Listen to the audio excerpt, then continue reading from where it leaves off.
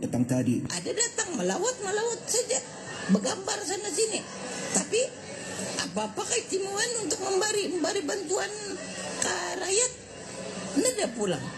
Yang untuk kebaikan. Untuk banyakkan orang memberi sihat orang, memberi baik orang. Macam itu bah kata ni.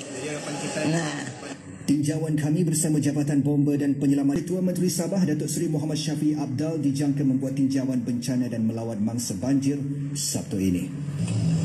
6.27 meter paras amaran sungai membakut yang mengalir di kampung Brunei ini setakat pagi ini dan dijangka akan meningkat sekiranya keadaan cuaca tidak mengizinkan berterusan. Tetapi apa yang menarik mencuri tumpuan saya kalau anda dengar kata-kata makcik bedah tadi saya ingin ulang.